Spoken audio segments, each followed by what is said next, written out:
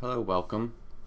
In this tutorial we're going to create this cyclone separator and we're going to set it up parametrically meaning that we can change the entire design by simply changing some numbers that we define earlier in the tutorial.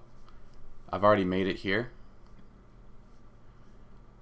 so let's start fresh with a new design. First things first, we're going to define our parameters. We're going to go up here to this sigma. If it's not up there, it'll be down here under modify.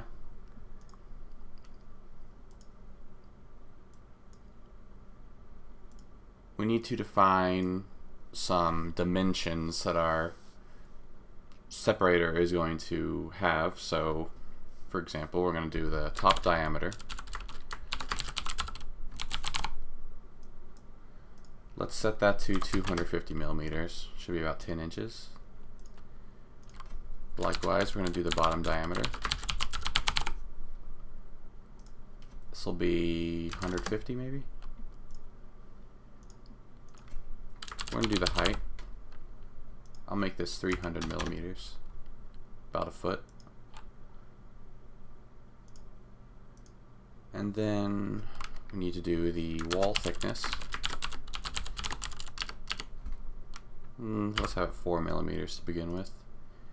And then we need the diameter of our hose we're going to use. I know my hose for my shop vac is uh, one and a quarter inches, so I'm going to change the unit type from millimeters to inches. I'm going to put 1.25. Hit OK. When we go to do our sketches, Fusion 360 will automatically calculate and convert it from inches to millimeters. And these five are the basic ones we need for this tutorial. You can add any ones you want later on. Click OK. Now let's actually begin modeling. Oh, I forgot to mention, you can only access the change parameters option if you have your timeline enabled. If you're in direct modeling, you can't use parameters, which I think is kind of silly, but that's just the way they do it create new component cyclone.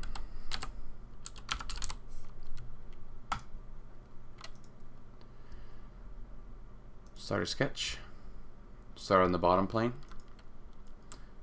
C for circle and create two circles of any size right on the origin point. One within the other. On the inner circle click it highlight it and hit X this changes it to construction. The difference between construction and normal lines is if I go and trying to extrude this circle, as you can see there's like an outside ring and then an inner one. If I go back into the sketch, right click edit sketch, and I make the inside one construction, and then I go and try to extrude it, the extrude tool will ignore any construction line and only focus on the blue normal lines uh, and not just the extrude tool, pretty much every tool will ignore construction lines. So we have our two circles, D for dimension, click the inner one, and start typing out the name of your parameter. We're going to use the bottom diameter, B, and you can see it'll kind of come up and give you suggestions based off uh, what letters you enter. Click on bottom diameter, hit enter, D for dimension. Now click the inside construction circle and the outside circle, and you can place a dimension for their offset and add wall thickness as a dimension. And that's all we need for that sketch. Click Stop Sketch. Go up to Construction and click Offset Plane. Just click on your circle here drag it up a bit, and uh, for the distance, enter your height parameter, height.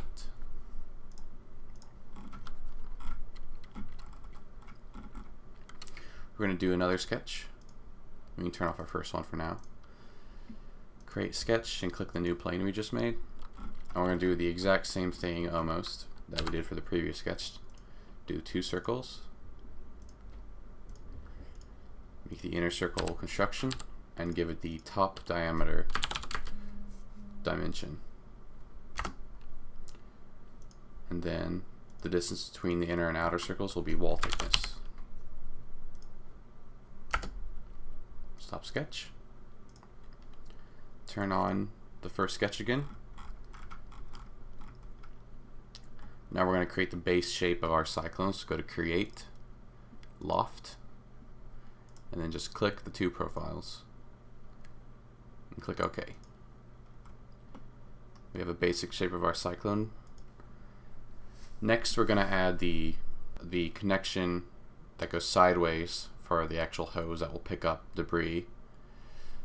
So new sketch and make it on the side plane right here.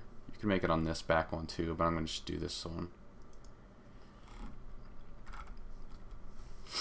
We want the geometry, we want to be able to reference the geometry of our cyclone right now in this sketch, that it would which will help us achieve, you know, full parametric design, if that makes any sense. Um, it'll let us reference previously made geometry so that when we want to update our design, we it will know what to update based off of. I have no I have no idea how to word this. P for project. Click the outside face of the cyclone. Okay. You can go into bodies and turn off the cyclone for now. As you can see, these top two lines correspond to the sideways silhouette of the top and bottom of the cyclone. L for line, make a line connecting these two sides, make a construction. You can also make these projected lines construction as well. And we're going to do two circles again, one within the other. Inner one is construction. Give it the hose diameter as its diameter. The distance between these two will be, you guessed it, wall thickness. In the sketch palette box, you'll see all the available sketch constraints. Click tangent, then click the top line and the outer circle tangent with the tangent tool still active, click the left line and then the circle again. As you can see, it kind of made this circle stick up here in the corner. Stop sketch. Turn on the cyclone main body. E for extrude and click the circle we just made and drag it out. Instead of cut, make sure it's set to join. For distance, I want it to end right here, right at this corner. Uh, to do it parametrically, we can enter top diameter slash 2, so it's divided by 2, plus wall thickness. As you can see, it perfectly terminates right at the edge of the cyclone. It doesn't have to end right there. If you want to drag it out further, that's fine. I just I just like how it looks.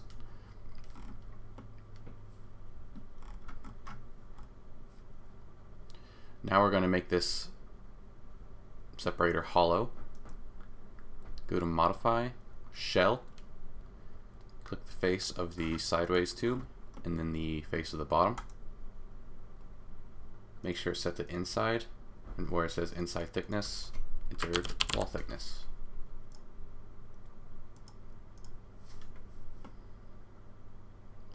It's kind of hard to see the inside, so we're going to do a section analysis.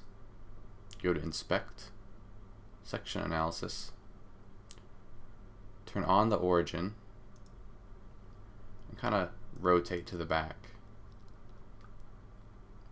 And click this back plane from this side. And click OK. Now we have an inside view. We didn't delete anything, we just have an inside view of our separator. Here's how here's our wall, this blue cross-hatched area, that's the walls of our cyclone separator. You can turn off the origin. And if you want to get out of this view, you can just turn off the section view from up here under analysis. Next, I'm going to make a tube coming out the top for our vacuum or dust collector. Sketch, click the top of the separator, two circles again, right on the origin point.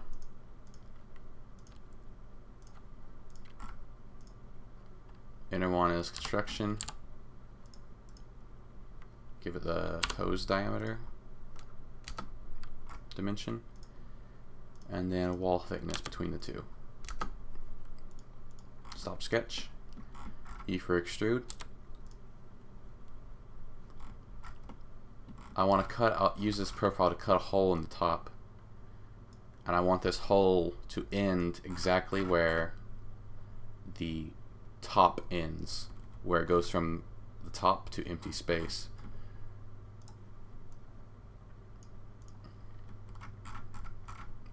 I want it to end about there. To do this, all I have to enter is negative wall thickness. There we go.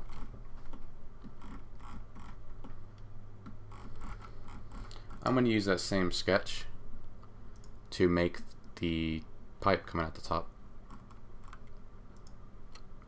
E for extrude, click on the center. I'm going to do symmetric. Make sure it's set to new body. Or you can set it to join. It's your preference. I prefer this part to be a separate body. Let's not use a parameter and let's just instead just pull out 60 millimeters on either side. Okay. Turn off the analysis. I'm going to turn off our main cyclone body. And I'm going to cut, make some cutouts in this pipe. To do that, sketch, put on this side plane, and come up here to our pipe.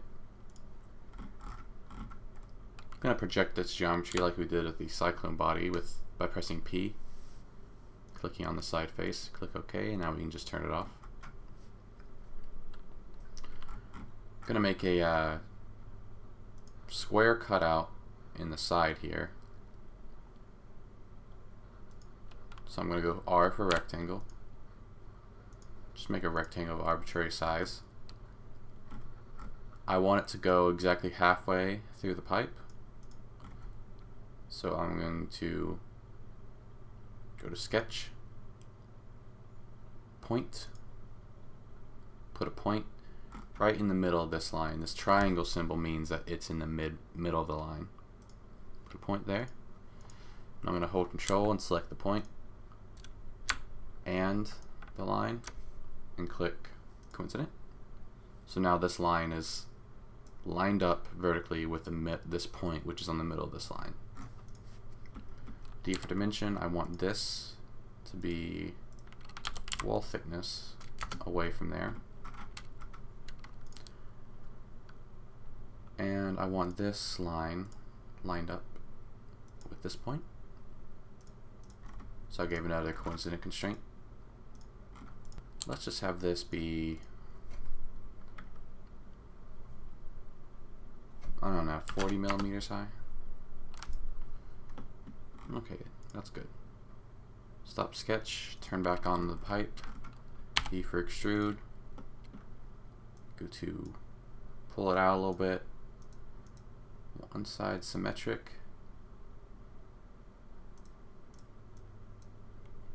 Um, and just pull it out until it's cutting all the way through the pipe and click OK.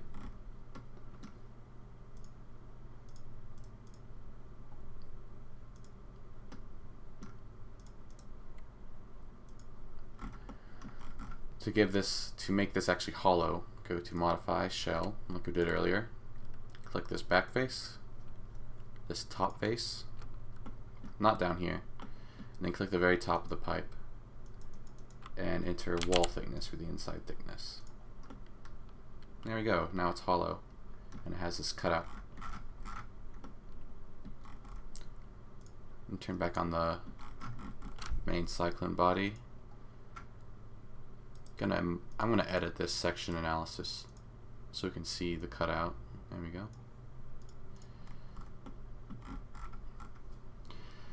Now our modeling of the cyclone separator is essentially done. Um, now I'm going to show you why we went to the triple of defining those parameters and setting up our dimensions that way. You can come up to your parameters, change parameters, and now you can modify them and then the entire design will change based on how you modify these. For example, let's change the wall thickness. Let's say I want it to be thinner. I can change it to 2 millimeters instead of 4. Hit enter. Now it's much thinner. This is also thinner. The center pipe. Let's change that back to 4. What if I want to use a bigger hose? I can change it to a 2 inch hose. Um, the big, the bottom diameter is kind of big, so let's change it to 100 millimeters. From the top, can we change to 300?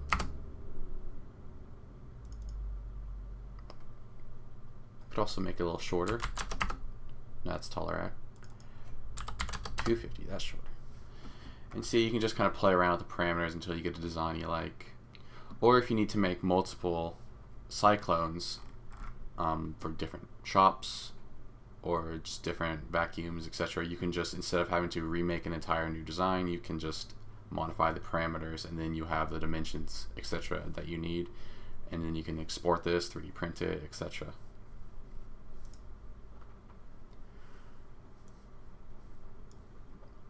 that's the conclusion of this tutorial.